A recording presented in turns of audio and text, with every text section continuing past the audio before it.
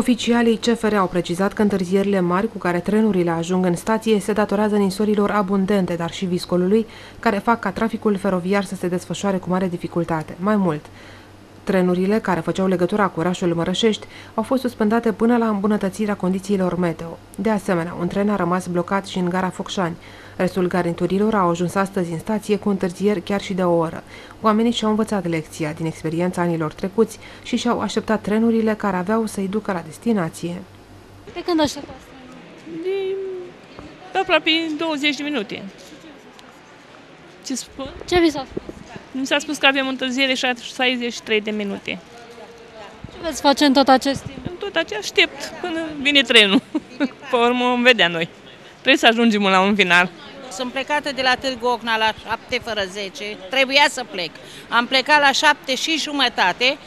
N-a vrut să oprească trenul accelerat, Interregio, care a venit de la Iași, a fost anunțat să oprească la Putna Seacă, să ne ia din trenul celălalt și stăm acum în gară, aici, la Focșani. Noi, de câte ore stau, nu stau, aici nu stau, dar cu, în total s-au făcut vreo 4 sau 5 ore de când stau pe drum. Eu am vrut să plec la ora 2 și mi s-a spus că vine un tren internațional mai repede. Și acum îl aștept. Când vine, da. Bacău. Nu-i problemă, aici e cald. Până la Crăciun cred că ajung acasă. Așa că, da, ce să facem? Trenurile, deși circulă cu întârzieri în această perioadă, beneficiază de încălzire, iar călătorii nu suferă din cauza frigului. Cei care nu vor să aștepte în gară pot opta pentru călătoriile cu mijloacele de transport în comun.